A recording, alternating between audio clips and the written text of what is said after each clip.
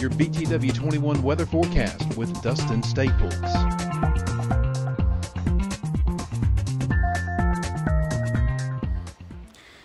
Good evening to you, Martinsville Henry County. It's Dustin Staples with your BTW 21 weather forecast. I've had a wonderful day so far.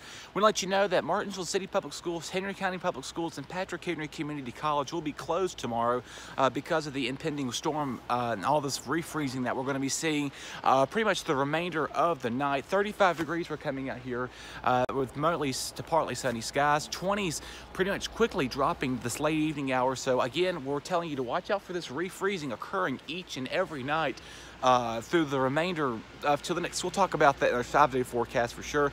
Tomorrow, again, you know, 48 is pretty warm, sunny, but you know, uh, we still see that refreezing at night taking place near 21 for the overnight low, and our, our winds are going to be out of the west northwest about five to 10 miles per hour. We'll be seeing that taking place. So pretty much. You know, refreezing about every night this week. we're going to be seeing that uh, take apart. Uh, 40s for highs, but you know we're going to be struggling to get uh, above freezing at nighttime uh, for the melting to occur. And uh, we have some possible rain moving in Friday and Saturday. Temperatures well above freezing by that point in time.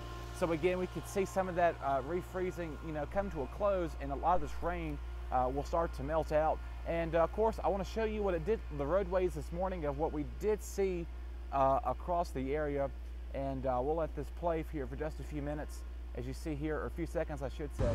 And uh, that was one of the secondary roads, as you see there, they were out and about early this morning covering those, some of the secondary roads. But again, it's going to take some time uh, for VDOT to get out there to some of these major, they're going to be on the major roadways first and then developing over to the secondary roadways. Once we get a lot of this melting done on the main roads, uh, they will then head in your neighborhood direction later towards tomorrow, Wednesday, and Thursday as they uh, potentially for more, they're waiting for this melting to occur so they can get out there and quickly get the job done. So again, thank the folks. We thank you for that, and also our fire and EMS folks for getting out here. Of course, uh, you know things happen, and they're doing their job, we thank them for sure.